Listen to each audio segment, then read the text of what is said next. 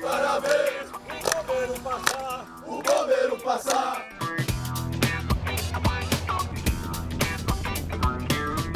O dia mal começou e as equipes dos bombeiros em Aruanã já se preparam para mais um dia de atividade física, uma rotina que faz parte da profissão.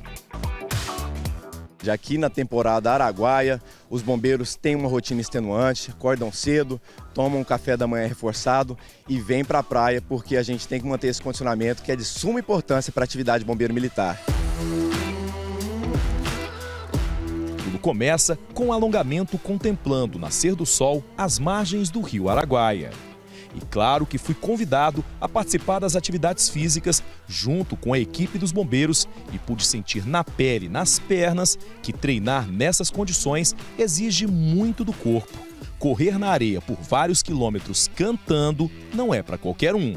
Disse meu beijinho, eu também quero dançar. Ai, para ver o bombeiro passar, o bombeiro passar. Depois da corrida pesada, eles ainda precisam seguir com outros exercícios, como apoio. Polichinelo e abdominais, tudo feito até o limite para preparar os homens e mulheres dos bombeiros para qualquer tipo de situação que eles possam encontrar no dia a dia nas praias. O Corpo de Bombeiros trabalha com a premissa de que o salva-vidas ele tem que ter o preparo psicológico, técnico e físico. Aqui nesse momento nós estamos trabalhando do lado físico, porque o bombeiro ele tem que ter o condicionamento necessário para alcançar a vítima e o, o condicionamento suficiente para poder voltar à margem. O técnico ele tem que saber o que fazer e o psicológico ele tem que manter a calma enquanto executa. Depois da educação física, é hora de monitorar as áreas de banho. E isso precisa acontecer antes que os turistas acordem. As praias do Rio Araguaia mudam todo dia e uma área de banho que era segura ontem, hoje já não pode ser. Esse trabalho é feito de forma minuciosa, não somente para demarcar uma nova área de banho, mas também para verificar se há nas águas próximas aos banhistas algum objeto cortante, como por exemplo cacos de garrafas. Bom, agora a gente vai mostrar é, uma simulação do socorro de uma vítima de afogamento.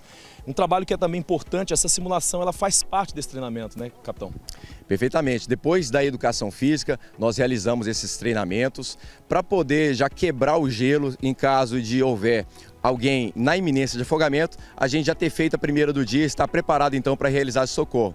Então aqui nós iremos fazer duas atividades, na verdade três atividades. A primeira atividade com a motonáutica, que é o nosso popular jet ski, o- a técnica utilizando dois socorristas e resgatando a vítima que está em iminência de afogamento. No caso, a vítima vai ser o Fred. Posteriormente, nós faremos uma abordagem no nado, é, considerando a hipótese de a embarcação não estar próxima naquele momento, então o guarda-vida tem que fazer a intervenção no nado, corpo a corpo. A vítima sou Joe.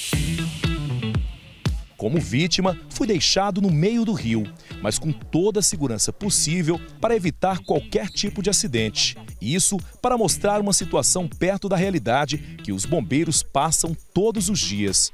O socorro é rápido e eficiente. Com segurança até a margem onde ele vai receber os atendimentos. E mesmo com toda a segurança dos bombeiros, posso confessar que dá um pouco de medo quando nos deparamos com tanta água no meio do rio. Próxima simulação foi o resgate com o bote dos bombeiros. Mas dessa vez a vítima foi um bombeiro militar. Da mesma forma, as equipes chegaram rapidamente até a vítima e o socorro é feito o quanto antes.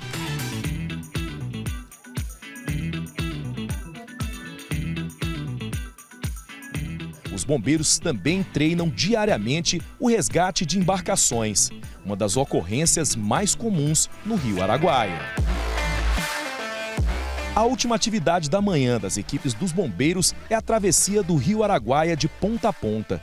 Com a água gelada e antes das 7 da manhã, as equipes precisam chegar do outro lado o mais rápido possível. O tempo aqui é cronometrado e fundamental na hora do resgate de uma vítima.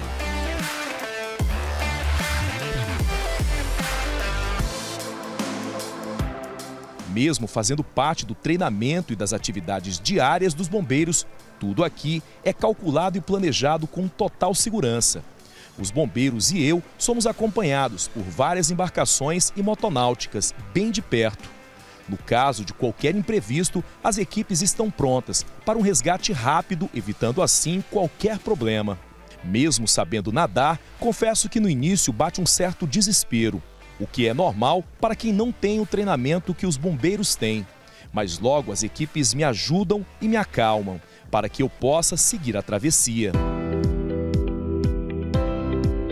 Do alto, o nosso drone acompanha tudo e é possível ver a dificuldade que é nadar em um rio como Araguaia, com águas pesadas e cheio de bancos de areia. Depois de muitas braçadas e muita água, chego junto com os bombeiros no porto. Uma travessia difícil, mas que no final nos mostra a importância desse treinamento que os bombeiros fazem todos os dias aqui.